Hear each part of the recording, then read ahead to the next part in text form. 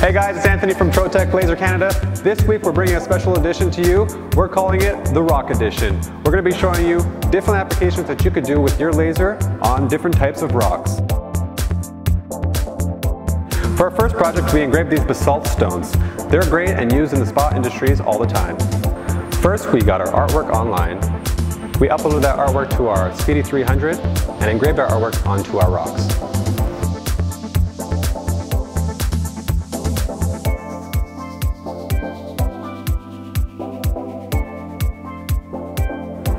After doing a few tests, we determined that because basalt rocks are a little bit denser than most rocks, by increasing our laser power, we are able to get a much brighter white engraving.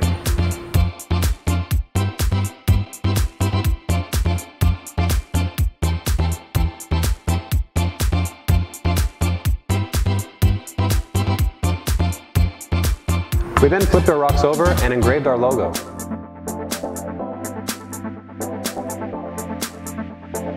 We purchased our stones off of Amazon.